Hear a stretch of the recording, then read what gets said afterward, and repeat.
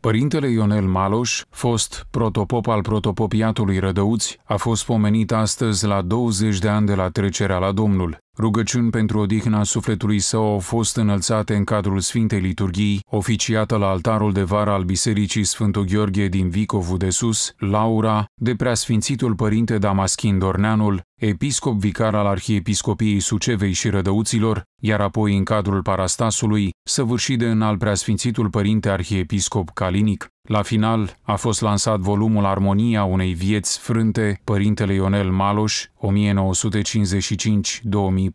scris de Elena Maloș, soția părintelui. Referitor la lucrare, părintele arhiepiscop Calinic a afirmat că aceasta este un tratat de preoție în miniatură. După cum reiese din paginile cărții, autoarea care în toate circumstanțele vieții sale și-a asumat cu responsabilitate statutul de soție a unui mărturisitor al lui Hristos, l-a descoperit pe cel ce s-a jertfit din iubire pentru oameni în aceeași măsură, în preotul slujitor de lângă ea și în fiecare suflet din parohie. Părintele protopop Ionel Constantin Maloș, unul dintre cei patru copii ai părintelui comemorat și Elena Maloș, au primit din partea părintelui arhiepiscop Calinic Ordinul Crucea Bucovinei. De asemenea, părintele Ionel Maloș a fost numit post-mortem cetățean de onoare al orașului Vicovu de Sus. Am scris această carte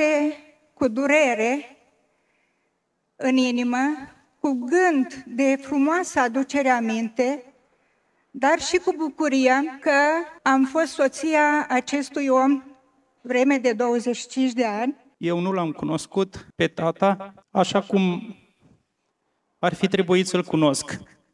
Însă dragostea cu care am fost înconjurați în acești 20 de ani de când el nu mai este printre noi, ne-a dovedit încă o dată cât a fost de iubit. Volumul dedicat părintelui Ionel Maloș a apărut la editura Crimca a Arhiepiscopiei Sucevei și Rădăuților și a fost realizat cu sprijinul mănăstirii Putna. Acest volum se dorește a fi, fără doar și poate, așa cum am spus, un pios omagiu adus părintelui protopop Ionel Maloș la 20 de ani de veșnicie. Însă cred eu, mai mult decât atât, se dorește a fi un mijloc prin intermediul căruia avem șansa, fiecare cititor în parte, de a-L cunoaște. Ionel a fost ca o evanghelie deschisă, o veste bună, pentru fiecare casă, cu multă râvână și dragoste, știa să mustre, dar să și mângâie. Pentru mine el a fost ca cel mai apropiat dintre